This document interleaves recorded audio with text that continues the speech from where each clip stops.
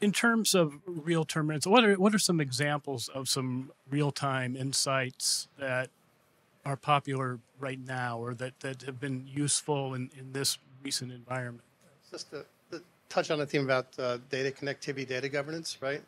Everyone talks AI, right? But there's no magic wand there, right? Your data needs to be highly connected and standardized that's fit for purpose, right? And so if you can connect a lot of data, um, you're going to be in a very advantageous position to do a lot of different things. So for a good example is that at Spatial Risk, we basically connect dozens of geospatial level data sources, right?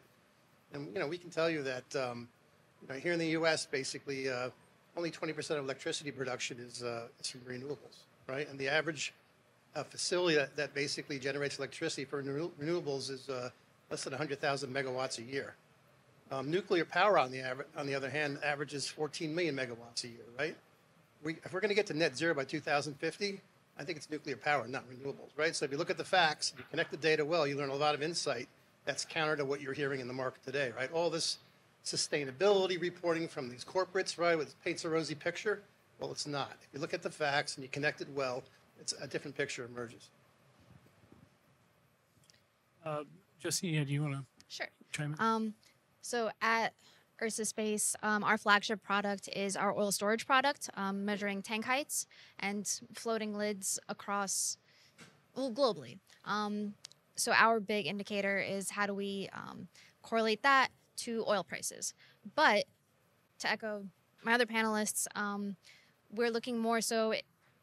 clients are coming to us more so looking at um, things like carbon sequestration, carbon capture, um, verification and validation of climate positive uh, processes. Are providers doing what they're saying they're doing? Are people installing more um, solar panels, things along that nature? And they're also wanting to see um, all this geospatial data condensed into a product, into something that is digestible easily by an analyst that doesn't need geospatial. Uh, doesn't doesn't need a geospatial background at all. I just want to add to that that there's so much data out there that lives at a geospatial level, um, but they live once again they live in their own data little data silos. The data right now geospatial is really not fit for purpose for consumption by the by the financial sector, right? Mm-hmm. So a reference data layer is going to emerge to help answer those questions for people. Instead of these bespoke one-off projects, you're going to have, you know, basically you can track an index from a physical asset location and understand at a granular level what's actually taking place. Mm-hmm. Um, John, what are, your, what are, your, thoughts, I guess, in terms of uh, real-time insights that are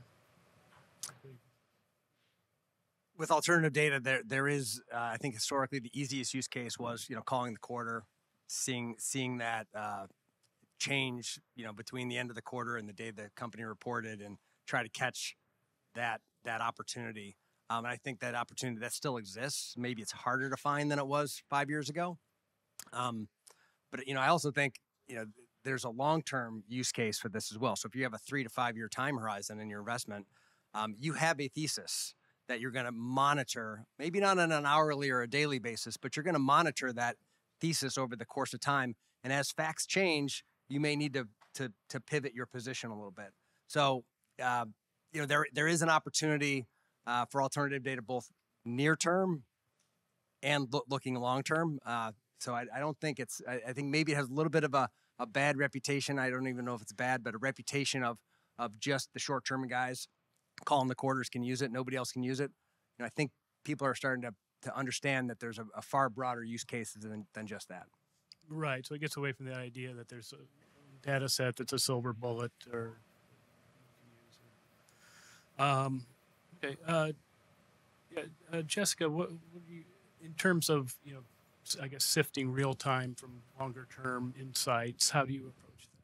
Yeah, well, I think that was a great example. So, calling the quarter, um, my first quant job was at StarMine, and what we were trying to do was like build, you know, better um, subsets of analyst predictions to try to have this predicted surprise.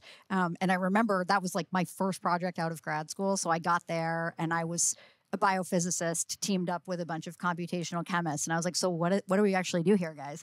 And they're like, "Yeah, so these." Are all these numbers in this table um, analysts like pick what they think is going to happen and then we just figure out like a better guess. And I remember I'd do this whole project, update all the data, and I think they still sell, sell StarMine um, analyst rankings. Um, I think they're valuable, but the the thing I found was the biggest value add in this step of trying to get a smarter prediction was to throw out obviously stale and outlier data. And I was like, oh wow, oh my gosh, guys, we should go tell IBES their their mean or average or whatever they call it is wrong, and like they should update it, right? And everyone was like, no, no, no, no, no that's like half of what we we do here. We don't want to tell them. So this calling the quarter has been around forever. I think people are getting smarter about trying to call it earlier and then play it over multiple quarters and trying to stretch that kind of prediction out. So I think it is a little bit about trying to say where can you look at something we might have thought of as event data or rapid data and try to like spin it into longer term predictions because you know that's what I see is if if I'm going to use real time data, it's probably going to be risk management, like in a really real time case. So, you know, okay, should we go to benchmark on GameStop, right, or something like this, or um, Hawaiian Electric, right? Should we go to benchmark on Hawaiian Electric? Like, what are you doing right in that moment? Um, and I think Judith said earlier, and how are you thinking about like, is this an isolated problem? Is this a contagion problem? You know, we don't sort of flip and try to get on the other side of quick trades like that. We're trying to look at risk management. Um, so I think that's how I might be thinking about that kind of um, real time driven data is from a risk, risk management standpoint. And beyond that, we really need to look for predictive signals that have a very long um, horizon to them um, because the types of products that I oversee now, they're just um, such higher capacity that we can't move so quickly, and we need to find um, basically high capacity, longer term ideas. Um, and there are a lot of competitors in that space. So um, thinking about how do you use data that other folk like either differently or data that other folks aren't aren't looking at or don't have access to if it's proprietary.